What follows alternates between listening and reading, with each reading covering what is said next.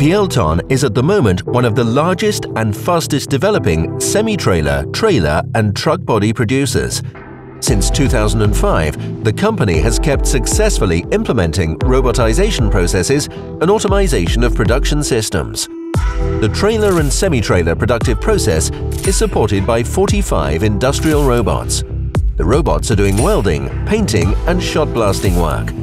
One robot is doing a three-person job, creating high savings in production and time. One of the main advantages of the industrial automation are accuracy and repetitiveness of the activities and element production.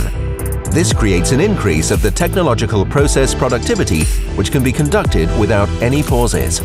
All of those factors have an influence on the improvement of the offered product quality and reduce waiting time for the product. It also increases the customization and adjustment possibilities to the client's individual needs.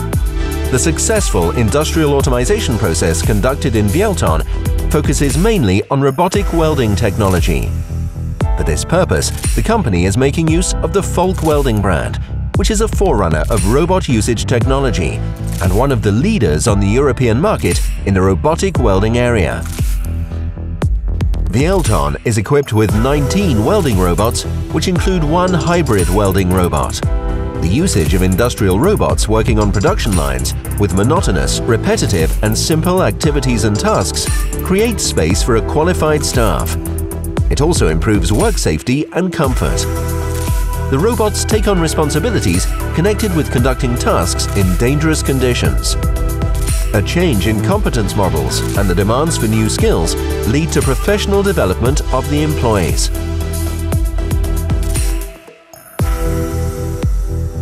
Appropriate qualifications and welding certificates can be acquired by young people who study vocational training classes in Wielton.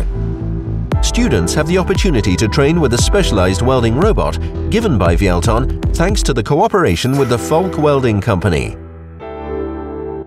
This way, the acquired practical skills are essential for future welders.